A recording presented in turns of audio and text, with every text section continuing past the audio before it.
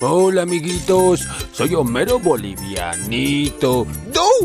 Soy como Homero, pero sacrifiqué a Maggie este año por la Pachamama. Pachamama, pero para que me vaya bien en la verdulería. Y por último, agua potable. Mmm, limpia y fresca agua potable.